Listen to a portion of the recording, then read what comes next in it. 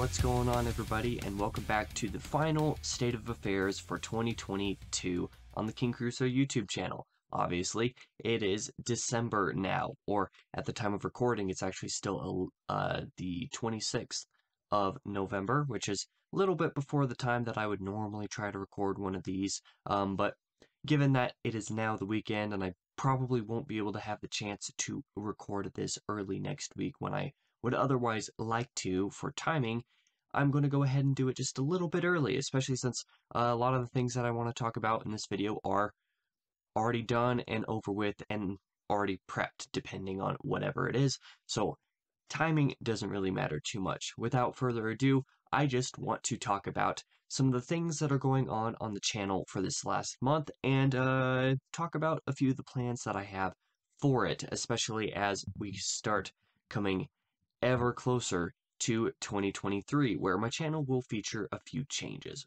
But before we get into any of that, let's talk about the normal things that I would talk about in these videos. First off, recommended videos from last month.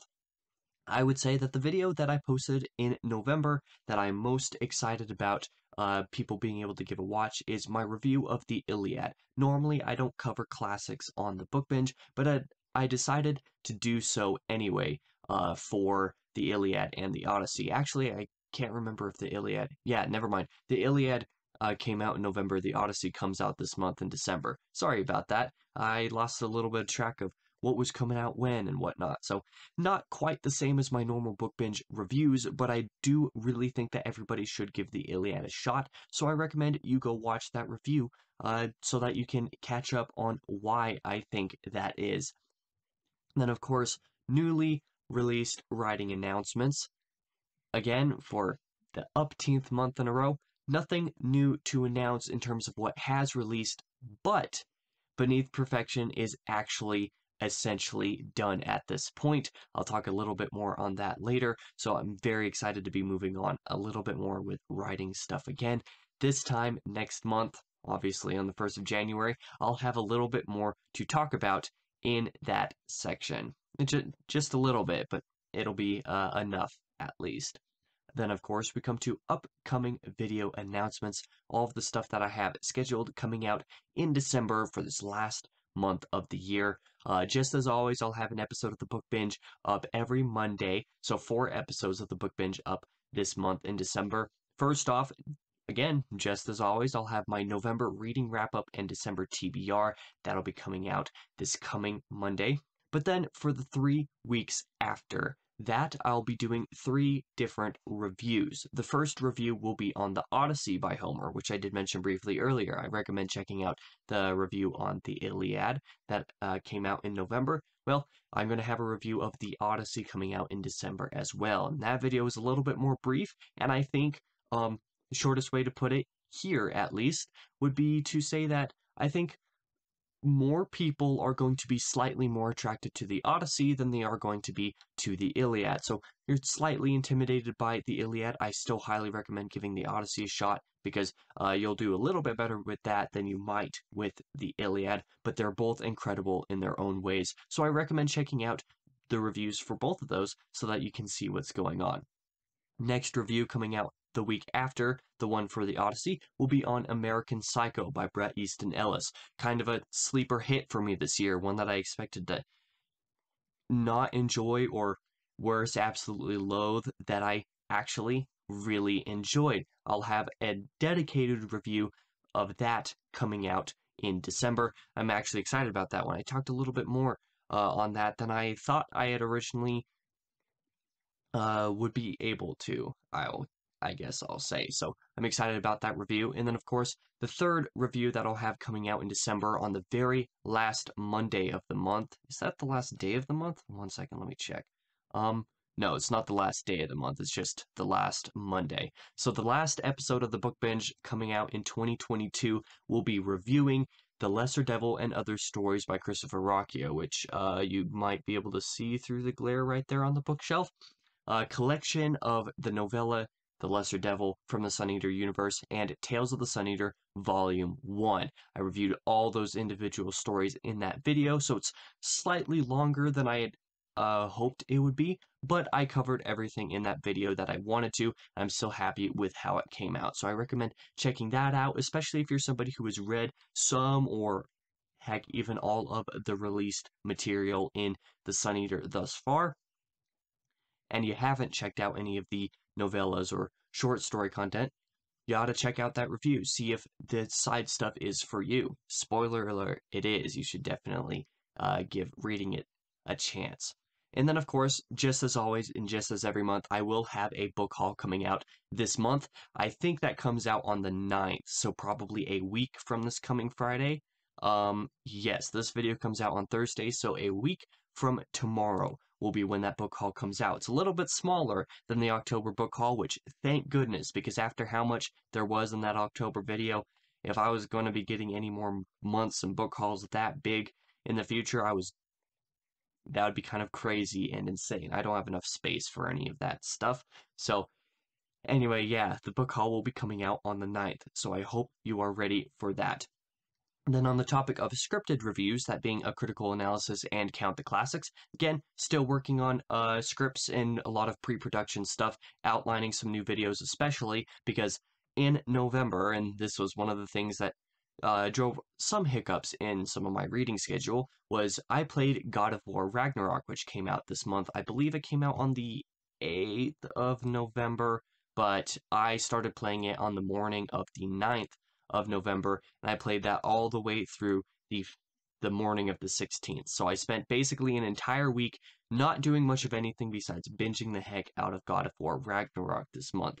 Um, was definitely a highlight of the month for me. I really enjoyed that game, and as such, I actually decided that I want to make a long, very in-depth analysis video, and I mean, in a sense, kind of a retrospective, even though Ragnarok is new and uh, of War 2018 isn't necessarily that old either, being from 2018, but I decided that I want to do an in-depth analysis of the Dad of War duology um, as a long video because I really love those games.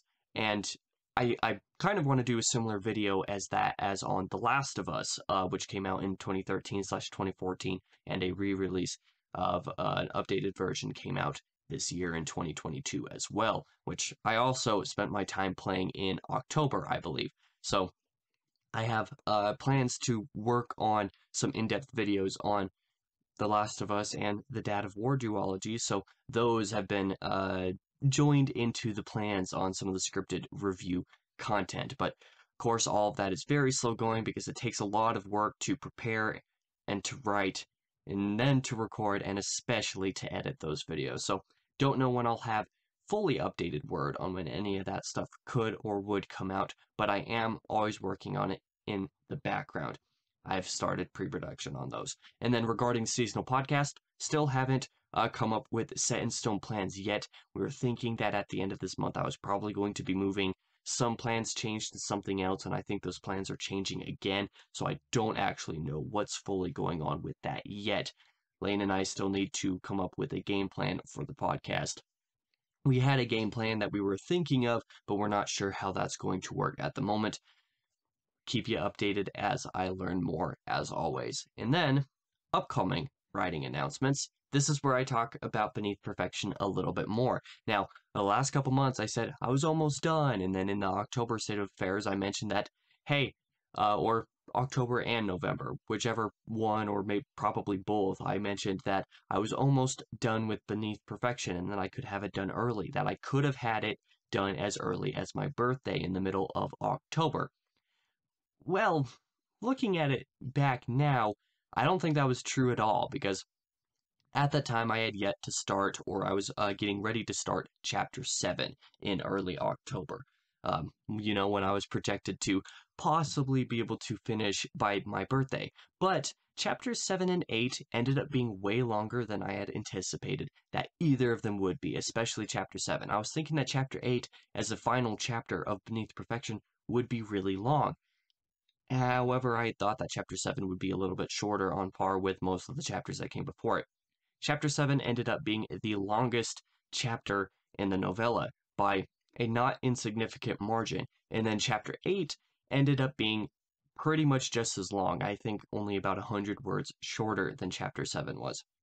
And I'm actually not upset about that at all. Uh, looking back on it, and especially in the process of writing both those chapters, they definitely needed it. They needed to be that long. It was just naive of me to think that I could get that done in several thousand words less than I ended up needing uh, for, you know, those scenes, I guess. And furthermore, beyond that, by the end of chapter 8, it became obvious to me that chapter 8 was going to be even longer than that. I decided to actually split chapter 8 at the end where I put it and continue that scene into a separate chapter in chapter 9. So Beneath Perfection is actually nine chapters again. At the time of recording, I'm like a thousand words away from finishing chapter 9. I wrote over 4,000 words yesterday uh, on Friday, the 25th of November. And I wanted to finish it yesterday, but I wrote so much and I was so tired that I just couldn't get through the very last bit. This weekend, I will be doubling down and actually finishing that even before I edit this video. Yes, I'm committing myself to finishing that before I edit this video. Since I have a few days before I have to edit this video, it gives me a little bit of time to do that. But I will be working on finishing Beneath Perfection this weekend. And just so we're clear, I split chapter 8 into chapters 8 and 9, and chapter 9 is now the longest chapter in the novella, again, by a not insignificant margin, by quite a bit actually. So if I had planned for chapter 8 to be all one chapter, greater than a third of the entire novella would have been just that one chapter, and I was not down for that. So I'm glad that things are actually running really smooth with the writing. In December, I should be able to get to editing Beneath Perfection a little bit or at least a lot of it, get through several of those chapters, especially since some of those chapters don't need much editing. Few of them will need a lot of work, but several of them don't, so that Beneath Perfection can finally start coming out in January. Really excited for that. And now that we come towards the end of this video a little bit, let's get into the channel and website statistics for the month. Now, I, this time around, I guess I'm going to do the website stats again, uh, or first again, for October 29th through November 25th. This month, I got 86 total visits on the website compared to 94 in October, and 97 page views compared to 102. So, all in all, slightly less, but very similar to October. Um, however, I kind of surprised that the website's been getting that much traffic in the first place anyway over the last several months with next to nothing to show for it. Now that I'm finally going to be releasing Beneath Perfection in January, I'm hoping that come 2023, the website will be getting a bit more traffic overall. That's something that I'm really hoping for. That's the stats for, um, I guess, November.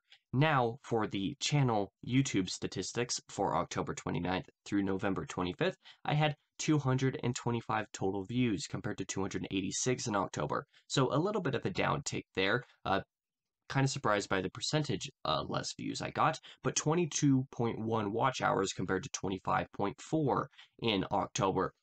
It's actually fairly similar, considering how much more uh, views and watch hours I got in October compared to any of the months before that, even in September, which up to that point was my biggest month. I was really shocked with how October turned out in terms of my YouTube traffic. So November sees a little bit less, but given uh, how unsuccessful one of the videos that I released this month was, I'm really not all too surprised by that. But if I'm surprised by anything, it's the fact that I still happen to get this many views and this much watch time in November, regardless of that fact. So I'm very happy with that. And then, of course, in terms of subscribers, I had a net gain of three compared to a net gain of six in October. Again, October was a big month, and actually, the net gain of three in November was a lot more than I think it realistically should have been because uh, I got a shout out on one of Words in Time's videos. If you know Jonathan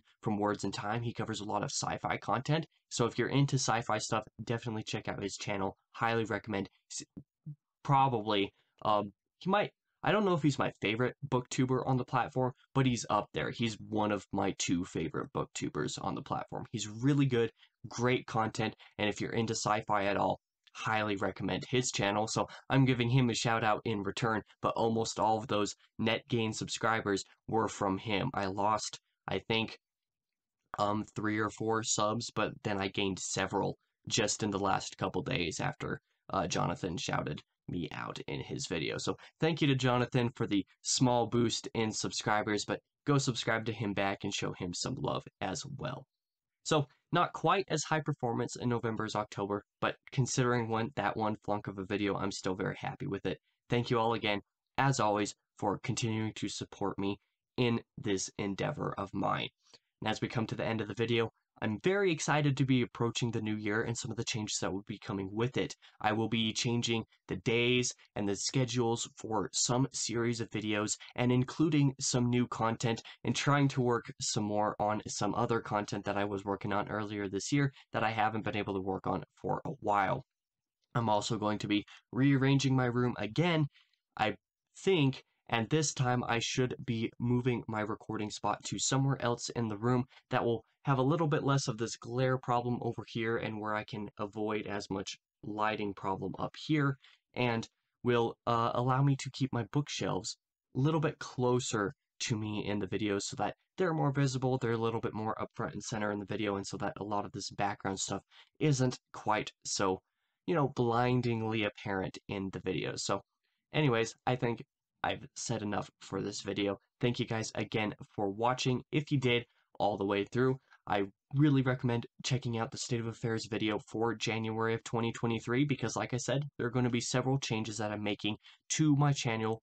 Not horribly, um, not, not horribly different changes, just going to be adding some stuff, like I said, and then changing the days that some of the videos come out, um, just for myself and because of uh, other stuff that will be going on. Again, I've talked a little bit too much in this video, so I recommend checking out the State of Affairs in January 2023 so that you are ready and prepared for any and all changes that will be coming to the channel, at least early on in 2023. So thank you guys again for watching. I'll be back again in the next video.